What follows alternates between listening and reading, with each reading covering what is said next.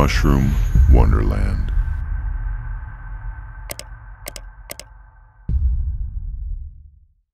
In reflecting on whether one should cut or pluck, I think you're going to go around in circles uh, because there's all kinds of different opinions and there are some special circumstances. But in general, I don't think it makes a load of difference whether you cut or pluck.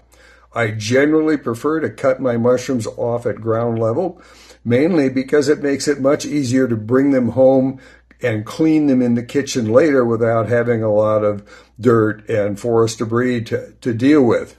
Now, of course, if you're cutting the mushrooms at ground level and you're dealing with gilled mushrooms, you've got to make bloody well sure that you know what amanitas look like and you aren't cutting amanitas off at the base and missing the volva in the ground and getting yourself in trouble as a result of eating a cut mushroom. Now, eating cut chanterelles has, has an advantage.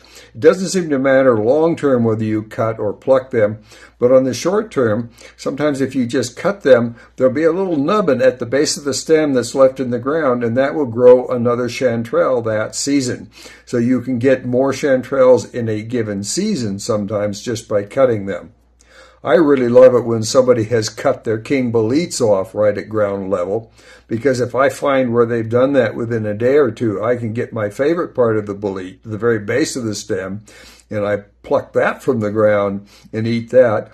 And sometimes I've been able to fill a shopping bag or two full of just stem bases, even though someone has beaten me to the patch.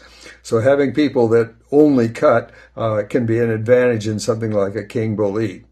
Now, if you're picking a cauliflower mushroom, you want to make very sure that you leave the stem intact. So you cut it off right at the base of that big lump of cauliflower, and you're much more likely to have that thing refruit again and again year after year as long as you leave the stem behind. So in that case, it makes a significant difference.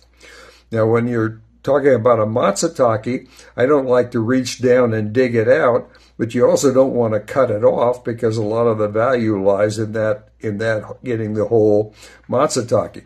So I grab those from the very top of the cap and just put my fingers on the top and rotate it in circles for a while until it gets loose from the soil and then I can pull it straight up and I don't have to put any implements in the ground and disturb the mycelium and then that will preserve the production for in the future. And the one thing that I'd be really clear on is you do not want to rake for mushrooms. If you're after truffles, you're going to wind up raking mostly immature truffles and you're going to ruin it for future harvest. So by using a dog to harvest truffles, you can come back to the same patch in season every four to five days and get more truffles. But if you raked it, you've wiped it out probably for the rest of the season. Similarly, uh, with, with king boletes. Uh, you can return to a King Bolete patch every single day and have new prime boletes as long as you don't rake the ground. So those are my reflections on cut versus trim. Good luck. Have fun in the woods. Bye bye.